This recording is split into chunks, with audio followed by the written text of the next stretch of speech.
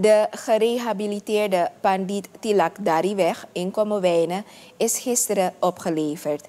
Districtscommissaris Mohamed Safik Rajab sprak over de inspanningen van de regering om de bewoners van Alkmaar een goede wegdek aan te bieden.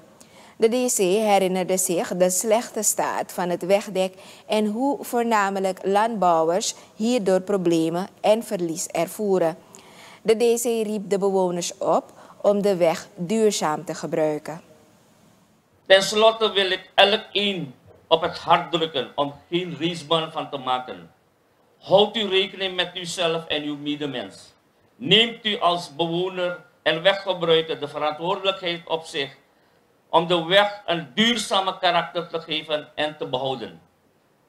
Ziet u af om op de berm te planten. Zo voorkomt u afkalving.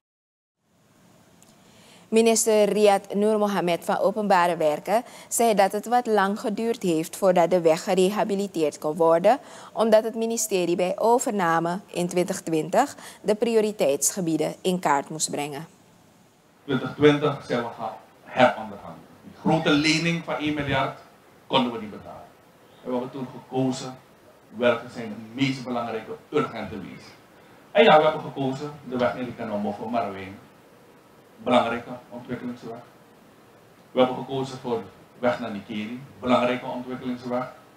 Die met leningen worden gefinancierd. En zo ook Tilakdariweg. Tilakdariweg, toen ik kwam, wilde ik de argumenten weten. En er zijn hier zoveel argumenten te weten. Ontsluitingsweg, productie, landbouw, maar ook zoveel voorzieningen hier in de weg. Toerisme.